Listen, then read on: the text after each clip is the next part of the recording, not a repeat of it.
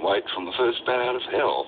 Now let's talk about the Meatloaf Convention in Adelaide this coming weekend, and I think I'm all for it. And please meet Alana Connor and Trudy Giles. Welcome, ladies. Thank you, Peter. Now, you're members of Shambles. Shambles Inc., yes. Where, why are you called that? We were having a meeting one night, and we have this bad habit of diversifying a little. Trudy has a budgie that sits on her head, a dog trying to kill the budgie, two kids she tries to kill. Oh. Anne has a grumpy husband, and I get sidetracked. One of us was heard to say, girls, this is going to be a complete and utter shambles. I became shambles. That's fair enough. You're at the Clearview Bowling Club, of course. That's right, the logical place. Not far away from here, at the beautiful downtown Collinswood, to have your meatloaf convention, your meat convention. Mm-hmm. Why do you love meatloaf? Why not? It uh, keeps us off the street. I like your t-shirts. You've got your bat out of hell, and that's an older meatloaf. And he improves with age, like all good things. Because you're telling me he's nearly 60. 50 59 on the 27th of September. Still touring? Still touring. He'll be down here in 2008 with Bat Out of Hell 3 tour, age 61. Wow. Road trip? Does he know about this, this convention? Yes, he has been told. And he must be very happy. I think so. He seems okay with it. Have you met him, Alana? No, not yet. You will. One day. You will. I met him at the Pie Cart We're very jealous. when he was here. What was that tour? 85? Uh, the Bad Attitude tour. Trudy? Yes, that's right. He wasn't in showroom condition at the Pie Cart, I tell you. With a long leggy blonde. If you had a long leggy blonde, would you do? when, how did you learn to love him, Alana? I uh, had my first kiss to a meatloaf tune. That very boppy one, Life is a Lemon and I Want My Money Back. and did you?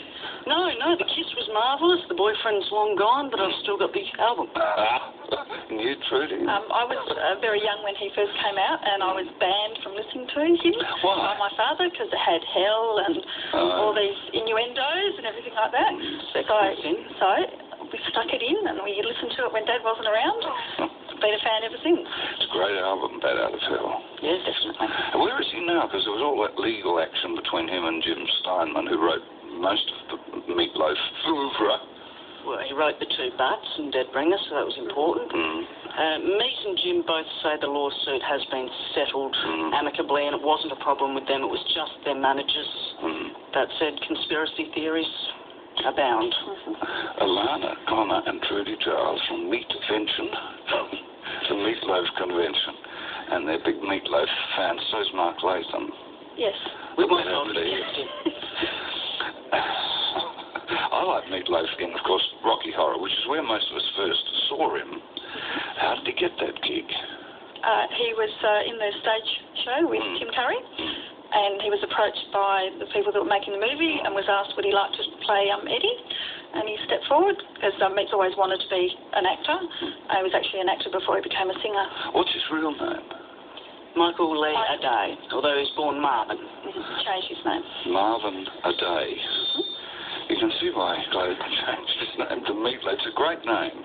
Yes. Did he did he choose that because he likes meatloaf? No. No, he tells a lot of stories about how he got that name. It was either his father called him that from when he got home from the hospital as a baby, or it was his footy coach, or it was a teacher at school, or it was his friends. Hmm. We're not sure. No.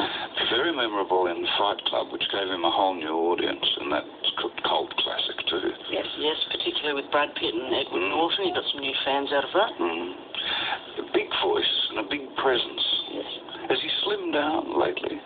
A little bit. He's lost a bit of weight. Um, and got to see him um, on Rove Live, Yes. and she said that the camera doesn't do him justice. The camera makes him bigger than what he really is. But to me, he wouldn't be me without being the size he is. Is he funny? Yes. I think so. Mm. You'd have to wonder why Rove sent him fishing with a cricket bat to start with, really. well, you, there's a lot about Rove I wonder about. Agreed. Alana, yes. A I lot. couldn't have said it better, Peter. Mm. Now, what activities have you got at this convention? We have everything. We're going to be watching everything. We're going to be watching some of his old movies from Roadie with Alice Cooper and Blondie? and that other person who's now dead, Roy Orbison. Yes. That was tasteful. Yes. We're going to be watching some other movies along with Fight Club. Yes. Uh, we're going to be watching some of the concerts, Melbourne Symphony Orchestra, Storytellers. We're going to have a late night screening of Rocky Horror on grand final night. Watching the grand final itself, of course. We have a tribute act coming in from Perth. Uh, Aussie Loaf. meets Evil Twin, friend of Trudy's. What's he like? I've actually met him. We've only actually spoken online. Yeah, yeah. Um, but yeah, so they um, offered to come and, and um, play for us. So It'll be fun. Oh yes, we have a local band coming in as well. Finishing having barbecue after the grand final, watching that It's all weekend. all weekend. What time does it kick off? Well, we're opening the doors about 8 o'clock Saturday morning, starting 8.30 or so with light. Should finish around midnight, and then we're having a later morning on Sunday for Yeah. recovery. And then through the day. Yes. It's wonderful. And cost? Is quite reasonable given it's all inclusive, we think. If you want to come along for a whole day, that'll be $25 discount for pensioners and concession cards, students, groups of 10. Uh, the whole event 40, same discount supply. And if you just want to come along for the grand final, barbecue, bands and Rocky Horror, that'll be 10 bucks for that session. That's very reasonable, ladies. Very. I salute that. And you're also donating proceeds to the Cancer Council, which That's is right. important. This, that's a great, it's a cheap weekend or day or night out. Mm-hmm. It's helping a good cause. It's celebrating a, a, a tremendous artist.